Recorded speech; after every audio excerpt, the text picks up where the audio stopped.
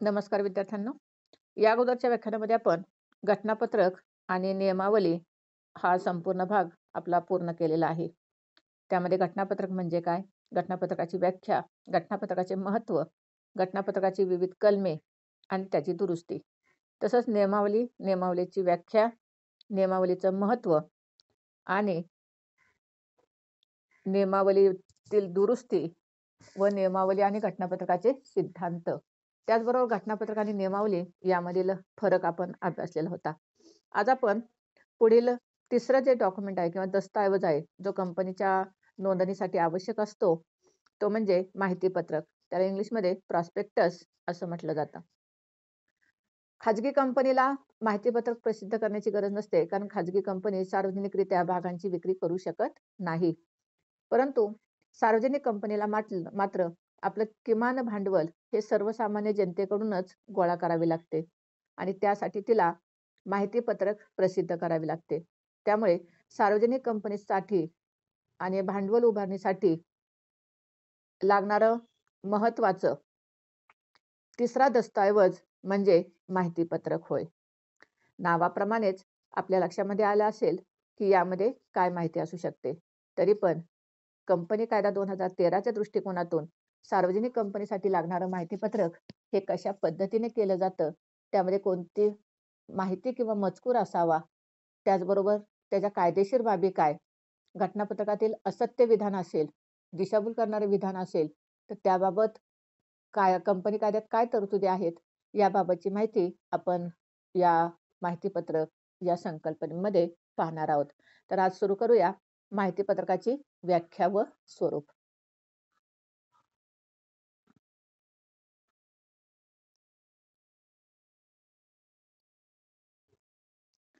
Company कायदा दोन हजार तेराच्या कलम दोन उपकलम सत्तरनुसार माहितीपत्रकाची व्याख्या ही पुढील प्रमाणे केलेली आहे. त्यामध्ये म्हटलेलं आहे की माहितीपत्रक म्हणून वर्णन केलेले कोणतेही कागदपत्र होय. यात कंपनी कायद्यातील कलम बत्तीसनुसार रेड हेअरिंग माहितीपत्रक व कलम एकतीसनुसार सेल्फ माहितीपत्रक यांचा समावेश होतो. माहितीपत्रकाद्वारे लोकांनी कंपनीच्या प्रतिभूती खरेदी कराव्यात म्हणून सूचनापत्रक परिपत्रक आणि जाहिरात इत्यादीद्वारे लोकांना आवाहन केले जाते. अशी व्याख्या कंपनी कायदा दोन हजार तेराची आहे. यामध्ये काय सांगितलेलं आहे? की कंपनी कायद्यामध्ये वर्णन केलेलं कंपनी कायदा कलम दोन उपकलम सत्तरनुसार कंपनी कायद्यामध्ये वर्णन केल्याप्रमाणे माहितीपत्रक म्हणून जे काय कागदपत्र असेल त्यामध्ये मग ते रेड हिअरिंग असेल किंवा सेल्फ माहितीपत्र असेल हे दोन्ही संकल्पना आपण नंतर पाहणार आहोत. यांचा समावेश होतो तसंच माहितीपत्रकाद्वारे लोकांनी कंपनीच्या प्रतिभूती प्रतिभूती म्हणजे भाग त्यानंतर कर्जरोखे आणि सरकारी बॉन्ड या सर्वांना एकत्रितरित्या प्रतिभूती असं म्हटलं. त्या खरेदी कराव्यात म्हणून सूचनापत्रक परिपत्रक आणि जाहिरात इत्यादीद्वारे जनतेला आवाहन केले जाते. अशा आवाहन करण्यात आलेल्या कोणत्याही जाहिरातीला परिपत्रकाला किंवा सूचनापत्रकाला माहितीपत्रक असे म्हटले जाते.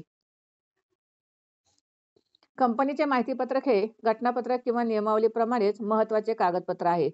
सार्वजनिक कंपनीला जनतेकडून भाग भांडवल उभारण्यासाठी माहितीपत्रकाच्या माध्यमातूनच पोहोचता येते. इच्छुक गुंतवणूकदारांनी कंपनीचे भाग किंवा कर्जरोखे विकत घ्यावेत यासाठी माहितीपत्रकाद्वारे त्यांना उद्युक्त केले जाते. याचा अर्थ की ज्याप्रमाणे कंपनीच्या नोंदणीसाठी घटनापत्रक आणि नियमावली जेवढं महत्वाचं आहे तेवढंच माहितीपत्रक हे सार्वजनिक कंपनीसाठी महत्वाचं समजलं जातं. विशेषतः सामान्य जनतेकडून सार्वजनिक कंपनीला सामान्य जनतेकडून भाग भांडवल उभारण्यासाठी या माहितीपत्रकाचा उपयोग होतो आणि या माहितीपत्रकातूनच त्या संभाव्य ग्राहकांना भाग भांडवल खरेदी करण्यासाठी उद्युक्त किंवा प्रोत्साहित केले जाते. माहितीपत्रक म्हणजे कंपनीची जरी अशी व्याख्या असली तरी विशिष्ट नमुन्यातच माहितीपत्रक तयार करावे लागते.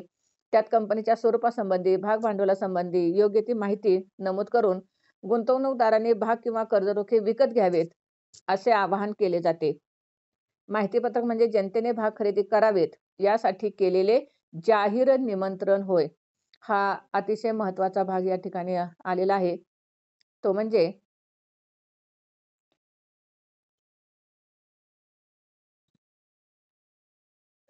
जाहीर निमंत्रण. कशासाठी?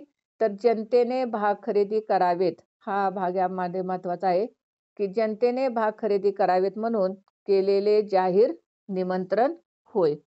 यामध्ये हा भाग आपल्या लक्षामध्ये आलेला असेल की कंपनीचे भाग खरेदी करावेत. यासाठी या कंपनीच्या कायद्यामध्ये जे सार्वजनिक कंपनीने प्रसिद्ध करणे आवश्यक आहे तर थोडक्यात सार्वजनिक कंपनीने सर्वसामान्य जनतेला लोकांनी आपले भाग खरेदी करावेत याचं दिलेलं जाहीर निमंत्रण म्हणजे माहिती पत्रक होय असं यामध्ये म्हटलेलं आहे. आता माहितीपत्रकात काय मजकूर असावा किंवा कोणत्या स्वरूपाची माहिती असावी? जसं आपण नियमावलीत घटनापत्रकात सहा कलमे कशी असावीत ते आपण पाहिलेलं आहे. त्याचप्रमाणे नियमावलीत नियमावलीतला मजकूर जे सतरा नियम आपण त्यामध्ये पाहिलेले आहेत. तसं माहिती पत्रकामध्ये काय माहिती असावी ते आपण यामध्ये आता पाहणार आहोत. यामध्ये त्यांनी म्हटलेलं आहे की गुंतवणूकदाराच्या दृष्टीने कंपनीच्या नवीन व्यावसायिक साहचर्याच्या सुदृढपणाकडे पाहण्याची एकमेव खिडकी म्हणजे माहिती पत्रक होय. सुदृढपणाकडे म्हणजे कंपनीची प्रगती कशी आहे? कंपनीची आर्थिक परिस्थिती कशी आहे? याची माहिती जर कशामुळे होत असेल तर ती माहिती पत्रकामुळे होते. आणि म्हणून इथं म्हटलेलं आहे की कंपनी साहसाच्या सुदृढपणाकडे पाहण्याची एकमेव खिडकी खिडकी म्हणजे घराची खिडकी नाही तर कंपनीची माहिती करून घेण्याचा एक मार्ग म्हणजे माहिती पत्रक होय असं आपण म्हणू शकतो. कंपनी कायद्यानुसार माहिती पत्रकात कंपनीच्या व्यवसाय संबंधी आर्थिक परिस्थिती संबंधी कामकाजासंबंधी सर्व प्रकारची माहिती नमूद करणे आवश्यक आहे. त्या माहितीवरूनच संभाव्य गुंतवणूकदार संभाव्य म्हणजे जे कंपनीचे भाग खरेदी करू इच्छितात ते. संभाव्य गुंतवणूकदार कंपनीचे भाग आणि कर्जरोखे विकत घेतो म्हणून माहिती पत्रकात खरी व वस्तुनिष्ठ स्वरूपाची माहिती असावी. म्हणजे माहिती पत्रकातील माहिती ही खरी असणं गरजेचं आहे वस्तुनिष्ठ असणं गरजेचं आहे कारण कंपनीचे जे संभाव्य गुंतवणूक गुंतवणूकदार आहेत ते कंपनीचे भाग हे माहिती पत्रकातली माहिती वाचूनच खरेदी करीत असतात.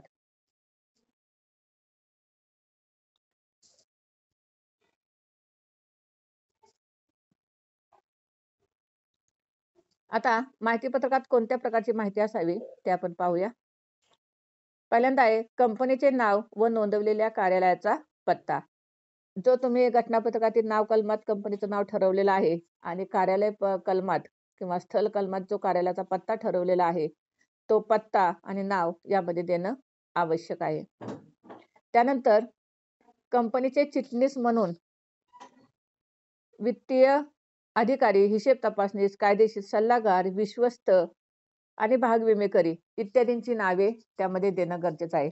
जो कंपनीचा चिटणीस म्हणून तुम्ही नेमणूक करणार आहात वित्तीय अधिकारी फायनान्स मॅनेजर म्हणून ज्याची नेमणूक करणार हिशेब तपासणी जो सी आहे लिगल ऍडवायझर कायदेशीर सल्लागार आणि विश्वस्त व भाग विमेकरी इत्यादींची नावे त्यामध्ये माहिती पत्रकात देणं गरजेचं आहे. त्यानंतर कंपनीच्या प्रतिभूतींच्या विक्रीची व शेवटची तारीख भाग वाटपाची तारीख व पैसे परत करण्याची तारीख. कंपनीच्या भाग केव्हा विक्रीस निघणार आहेत? त्याची स्टार्टिंग डेट काय? त्याची एंडिंग डेट काय? आणि पैसे ज्यांना भाग वाटप केलं जाणार आहे त्यांची पैसे परत करण्याची तारीख काय असणार आहे? याबाबतची माहिती. तसेच प्रतिभूती विकून जो पैसा मिळेल तो ठेवण्यासाठी बँकेत खाते उघडल्याबद्दल संचालक मंडळाने दिलेली माहिती व मिळालेला सर्व पैसा याच खात्यात जमा केला. याबद्दलची माहिती तसेच मागील वेळीच्या प्रतिभूती विकून जो काय पैसा आलेला आहे तो पैशाची विल्हेवाट कशी लावली त्याची माहिती द्यावी लागते. म्हणजे प्रतिभूती म्हणजे भाग आणि कर्जरोखे विळून विकून जो पैसा ज्या बँकेत ठेवला जाणार आहे त्या बँकेची तुम्हाला माहिती द्यावी लागते. तसंच संचालक मंडळाने या माहितीचा जो पैसा जो आलेला आहे तो पैसा याच खात्यात जमा केला याबद्दलची माहिती. आणि मागच्या वेळेला म्हणजे जर दुसऱ्यांदा शेअर इश्यू असेल किंवा दुसऱ्यांदा जर कंपनी भाग विक्री करत असेल तर मागच्या वेळेला ज्या प्रतिभूती विकून जी पैसा आलेला होता त्याची विल्हेवाट त्याचा वापर कसा केला याची माहिती या माहिती पत्रकात द्यावी लागते. त्यानंतर भाग विमा करारांची सविस्तर माहिती. कंपनी नवीन असेल तिचे भाग विकले जाण्याची खात्री नसेल तर अशा वेळेला ह्या भाग भांडवल बाजारातील भाग विमेदार जे असतात ते मदतीला येतात. हे भाग विमेदार म्हणजे कोण असतात? तर नवीन कंपनीला तिचे भाग किमान भांडवल जे सर्वसामान्य जनतेला विकणं आवश्यक आहे ते जर तिला विकणं शक्य नसेल तर हे भाग विमेदार ते भाग विकण्याची जबाबदारी घेतात. त्या बदल्यात त्यांना कमिशन दिलं जातं आणि म्हणून त्यांच्या कराराची माहिती यात देणं आवश्यक आहे. तसेच कंपनीचे संचालक कंपनीचे हिशेब तपासणीस बँकर्स तज्ज्ञ व्यक्ती आणि आवश्यक व्यक्तींची संमती. कंपनीचे संचालक म्हणून जे काम करणार आहेत हिशेब तपासणीस म्हणून जे काम करणार आहेत बँक म्हणून जे काम करणार आहेत आणि तज्ज्ञ व्यक्ती या सर्वांचं या कंपनीसाठी काम करण्याचं संमतीपत्र देणं गरजेचं आहे. तसेच भाग विक्री व भाग वाटप करण्याच्या पद्धती आणि वेळ. भाग अर्ज आल्यानंतर त्यांना भाग वाटप कसं केलं जाणार आहे त्याची भाग विक्री कशी केली जाणार आहे त्याची पद्धत काय असणार आहे आणि त्याची वेळ काय असणार आहे? याच्या डिटेल माहिती द्यावी लागते. तर भाग विक्री आणि भाग वाटप हे आपण नंतर डिटेल चौथ्या भागामध्ये किंवा चौथ्या टॉपिकमध्ये पाहणार आहोत. त्यानंतर कायद्यात ठरून दिल्याप्रमाणे कंपनीच्या भांडवलाची रचना अधिकृत भांडवल विक्रीस काढलेलं भांडवल खपलेलं भांडवल वसूल झालेलं भांडवल आणि भागावरील वाढावा इत्यादीची माहिती. म्हणजे जे भांडवल कालमध्ये दिलं जाणार आहे कंपनीच्या घटनापत्रकाच्या त्यामधलं अधिकृत भांडवल काय? त्यातलं किती विक्रीस काढलं जाणार आहे? म्हणजे अधिकृत म्हणजे अथॉराइज कॅपिटल विक्रीस काढलेलं भांडवल म्हणजे इश्युड कॅपिटल खपलेलं भांडवल म्हणजे सबस्क्राईब भांडवल. वसूल झालेलं भांडवल म्हणजे पेडअप कॅपिटल आणि भागावरील वाढावा म्हणजे शेअर प्रीमियम अकाउंटच्या भाषेमध्ये आपण ह्या थीम वापरतो. तर या सर्वांची माहिती यामध्ये देणं गरजेचं आहे. त्यानंतर भाग विक्री आवाहनाचा मुख्य उद्देश वर्तमान काळात भाग विक्रीच्या अटी व इतर ठरवण्यात आलेल्या अटी. का भाग विक्री करायला काढलेली आहे? पहिल्यांदा आहे का दुसऱ्यांदा आहे? त्याचा मागचा उद्देश काय आहे? वर्तमान काळात भाग विक्रीच्या अटी काय आहेत व इतर ठरवण्यात आलेल्या अटी यांची माहिती देणं गरजेचं आहे. त्यानंतर कंपनीचा मुख्य उद्देश कंपनीचा वर्तमान व्यापार आणि व्यवसाय व्यवसायाच्या अंमलबजावणीचे वेळापत्रक हे सर्व भविष्यात कंपनी कोणता व्यवसाय करणार आहे? कशा पद्धतीने करणार आहे? त्याचं वेळापत्रक देणं गरजेचं आहे. त्यानंतर भाग विमेकरांची नावे पत्ते मोबाईल फॅक्स नंबर मेल इत्यादीची माहिती. माहितीपत्रक प्रकाशित करून पैसे जमवल्याचे असतील तर माहितीपत्रकात पुढील बाबींचा समावेश असावा. म्हणजे माहितीपत्रक प्रका जर प्रकाशित प्रसिद्ध करून जर पैसे जमवले असतील तर त्यामध्ये काय काय माहिती असावी? त्यामध्ये भांडवल विक्रीचा उद्देश. भांडवल काय विक्रीस काढलेला आहे? ज्या बाबीसाठी भांडवल आवश्यक आहे त्याची कारणे काय आहेत? इत्यादीची माहिती द्यावी लागते. त्यानंतर भांडवल योजना व भांडवल मिळवण्याची साधने हा प्रकल्प अहवालाचा सारांश किंवा गोषवारा की भांडवल प्रकल्प म्हणजे व्यवसायाचा जो प्रोजेक्ट आहे जो प्रोडक्शन आहे त्याचा जो प्रोजेक्ट केलेला असेल त्याची माहिती आणि त्याचा गोषवारा म्हणजे थोडक्यात सारांश. प्रकल्प अंमलबजावणीची वेळ. व्यवसाय सुरू कधी करणार आहे? त्याबाबतची वेळ. पैशाचा मध्यवर्ती तपशील किंवा उपयोग काय आहे? तुम्ही कशा प्रकारे पैशाचा उपयोग करणार आहात? पुढील समाधान माहिती द्यावी लागते त्याचबरोबर. त्यामध्ये प्रकल्पाबद्दल असणाऱ्या धोक्याबद्दल व्यवस्थापनाचे मत. जो तुमचा प्रोजेक्ट आहे जे कंपनीचा व्यवसाय आहे त्याबद्दल भविष्यात काय धोके आहेत का? त्याबाबत तज्ज्ञ व्यक्तींचं काय म्हणणं आहे? ते माहिती पत्रकात द्यावं लागतं. प्रकल्प नफ्यात येण्याचा कालावधी. हा जो व्यवसाय सुरू करणारी कंपनी तो नफ्यात कधी येईल? किती नफा मिळू शकेल? याबाबतचा अंदाज त्यांना द्यावा लागतो. आतापर्यंत झालेल्या प्रकल्पाची प्रगती जर माग दुसऱ्यांदा भाग विक्री काढणार असेल कंपनी जुनी असेल तर आतापर्यंत कंपनीची प्रगती कशी आहे त्याची माहिती द्यावी लागते. प्रकल्प पूर्ण होण्याची अंतिम तारीख काय आहे? केव्हा तुमचा प्रकल्प जर ठराविक काळासाठी प्रकल्प असेल किंवा प्रोजेक्ट असेल तर त्यात तो किती कालावधीसाठी आहे? त्याची अंतिम तारीख काय? माहिती पत्रक प्रसिद्ध करण्याच्या पाच वर्षा अगोदर काही वैधानिक बाबी असतील तर त्याची माहिती द्यावी लागते. त्यानंतर याबाबतचे निवेदन असते ते. त्यानंतर किमान भांडवलाची रक्कम व्याजापासून मिळणारी रक्कम पैशाशिवाय इतर मार्गाने भागाची करावयाची असेल तर त्याची माहिती. म्हणजे किमान भांडवल रक्कम काय असेल? किती कमीत कमी भांडवल गोळा करायचं की ज्याने तुम्हाला हे करणार? व्याजापासून मिळणारी रक्कम किती असेल? पैशाशिवाय इतर मार्गाने तुम्ही भांडवल कसं गोळा करणार आहे त्याची माहिती तुम्हाला द्यावी लागते. त्यानंतर पुढील बाबींच्या बाबतीत संचालकांची सविस्तर माहिती पाहिजे. संचालकाने किंवा जे संचालक म्हणून काम करणार आहेत त्यांची पुढील बाबतीत माहिती पाहिजे. संचालकाची नियुक्ती कशी केलेली आहे? संचालकाचे मानधन कसं असणार आहे? हे सगळा भाग जो आपल्याला आहे तो आपल्याला सेकंड टर्मला आहे. प्रमुख व्यवस्थापकीय व्यक्ती. याच्यामध्ये संचालक त्यानंतर प्रमुख व्यवस्थापक मॅनेजिंग डायरेक्टर चिटणीस आणि हिशेब तपासणी यांची सगळ्यांची माहिती आपण घेणार आहोत. त्यांची पात्रता अपात्रता नियुक्ती मानधन मोबदला हकालपट्टी हा सगळा भाग आपण नंतरच्या सेकंड टर्मला पाहणार आहोत. त्यामध्ये संचालकाची नियुक्ती कशी केली जाते? नियुक्तीचे प्रकार कोणते आहेत? संचालकांचे प्रकार कोणते आहेत? त्यांचा मानधन किंवा मोबदला कसा ठरवला जातो? हे सगळं आपण नंतर अभ्यासणार आहोत. तसेच संचालकाचे कंपनीतील हितसंबंध आर्थिक हितसंबंध काय गुंतलेले आहेत का? संचालकाची नावे पत्ते संचालकाचा ओळख नंबर. ओळख नंबर म्हणजे जसा आपला आधार कार्ड नंबर असतो तसा प्रत्येक कंपनीच्या संचालकांना कंपनी कायद्यानुसार एक आयडेंटिफिकेशन नंबर घ्यावा लागतो. त्यालाच डायरेक्टर आयडेंटिफिकेशन नंबर असं म्हटलं जातं. तो पण भाग आपण नंतर अभ्यासणार आहोत. त्याचा संचालक पदाचा कालावधी काय आहे? त्याचं कंपनीतलं संचालकत्व स्वीकारले असल्याची त्याची माहिती त्यांनी देणं आवश्यक आहे. माहितीपत्रक प्रसिद्ध होण्याच्या दोन वर्षा अगोदर संचालकाने खरेदी केलेल्या चल आणि अचल मालमत्तेचा तपशील म्हणजे थोडक्यात त्याची प्रॉपर्टीचा हिशेब त्यांना देणं गरजेचं आहे.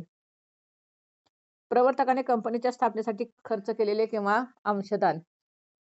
याचा अर्थ की कंपनीने कंपनीचा जो प्रवर्तक आहे जो कंपनी स्थापना करण्याचा विचार करतो तयारी करतो जबाबदारी घेतो त्याचं त्याने किती खर्च केलेला आहे त्याचा अंशदान म्हणजे प्रवर्तकाचं भांडवल किती आहे?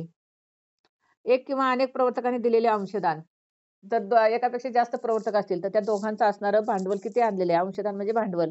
प्रवर्तकाचे नाव प्रवर्तकाने खरेदी केलेले भाग त्या भागाचे मूल्य खरेदी केलेल्या भागांची संख्या त्याचे मूल्य स्थापनेपूर्वी आणि स्थापनेनंतरचा केलेलं भांडवलाचं अंशदान. म्हणजे थोडक्यात प्रवर्तकाने काय काय कंपनीसाठी दिले त्याची माहिती द्यावी लागते. तसेच प्रवर्तकाने इतर कंपन्यांमध्ये केलेली गुंतवणूक. जर ही कंपनी सोडून प्रवर्तकाने अजून दुसऱ्या कंपनीमध्ये काय गुंतवणूक केली का? त्याचा तपशील द्यावा लागतो. त्यानंतर प्रवर्तकाने घेतलेले कर्ज व त्या संबंधीची सविस्तर माहिती. प्रवर्तकाने या कंपनीमध्ये प्रवर्तक म्हणून आल्यानंतर काय कर्ज घेतलंय का? तर त्या कर्जाची माहिती ही माहिती पत्रकामध्ये द्यावी लागते.